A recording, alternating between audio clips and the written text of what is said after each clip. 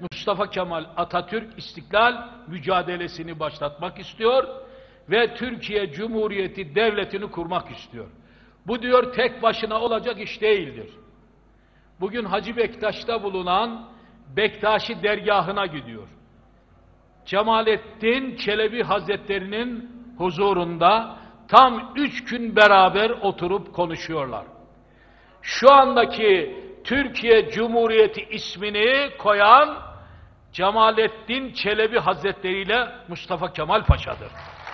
Konuşmasında Atatürk'e dinsiz, İslam düşmanı gibi iftiralar atan kesimlere de cevap veren Haydarbaş, Atatürk'ün İslami yönü üzerine çarpıcı örnekler verdi. Kemalist dediğimiz insanlar da bir ateist Atatürk tanıttılar. Dindar denilen istiklal mücadelesinden kaçanlar da dinsiz bir Atatürk tanıtmaya çalıştılar.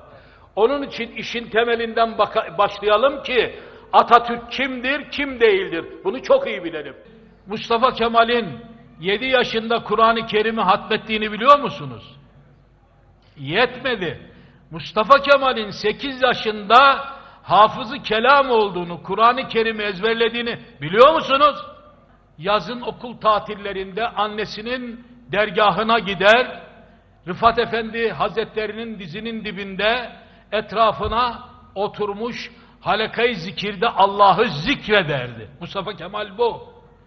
Şimdi bu insana ne diyorlar? Bu insana diyorlar ki Mustafa Kemal dine karşı. Atatürk'e atılan iftiraları yazacağı bir kitapla çürüteceğini ifade eden Profesör Baş şöyle konuştu. Bu iftiralar yeni başlamadı sevgili arkadaşlar. 18. yüzyılda başladı. Tam o dönemden işe başlayacağız. O günün şartlarına kadar meseleyi taşıyacağız. Mustafa Kemal Paşa'nın ne olduğunu Allah nasip ederse eserimizde çok mükemmel bir şekilde ortaya koyacağız. Profesör Doktor Haydarbaş, Eskişehir'de halifelik kurumu ve bu kuruma Atatürk'ün yaklaşımı üzerine de ses getirecek bir değerlendirmede bulundu. Mustafa Kemal Paşa sevgili kardeşlerim bakınız saltanatı kaldırmıştır. Niye? Çünkü İslam dininde saltanat yoktur. Şimdi çok ince bir nükte Mustafa Kemal Paşa Hazretleri hilafeti kaldırmamıştır. Hilafeti Büyük Millet Meclisi'ne tevdi etti. Şu anda meclistedir bu. Efendim niçin onu kaldırmadı oraya tevdi etti? Kendisi halife olamaz mıydı? Bakınız sevgiler bu incelik İslam'ı bilmeyen bir insanın uygulayabileceği bir incelik değildir.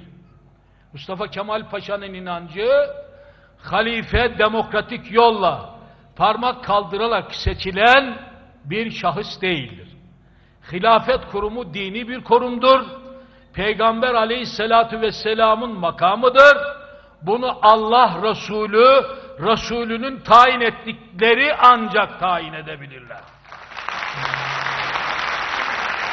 Bu konuda Cenab-ı Hak bana bir yetki vermediği için ben halife olamam. Yarın sahibini bulsun, Türkiye tekrar ayağa kalksın diye.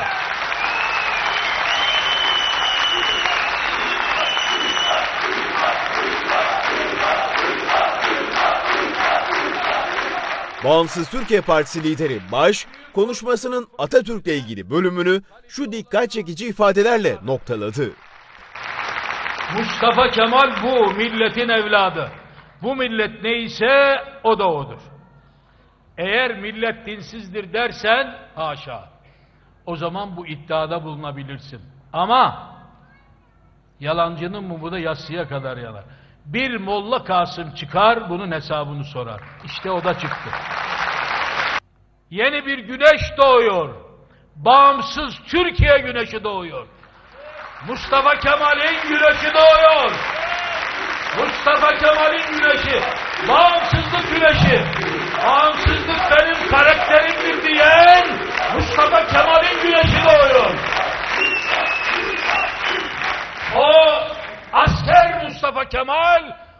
Avrupa'daki Hoca Mustafa Kemal.